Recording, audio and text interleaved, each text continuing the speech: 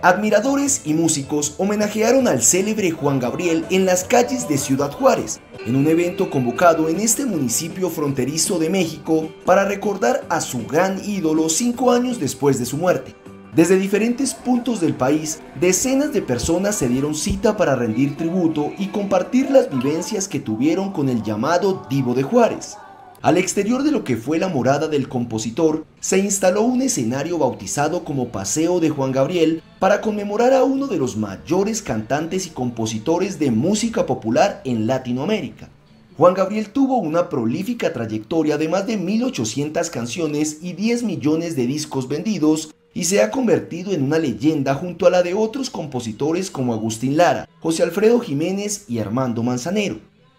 innovador, controvertido y transgresor, nunca reconoció abiertamente su sexualidad y desafió a la sociedad machista y homófoba con sus movimientos y trajes afeminados. Aunque nació en Parácuaro, Michoacán, en 1950 con el nombre de Alberto Aguilera Valadez, de pequeño su familia se trasladó a Ciudad Juárez y hoy es difícil hablar de este territorio sin poder nombrar a Juan Gabriel, el personaje que da mayor identidad a los juarenses.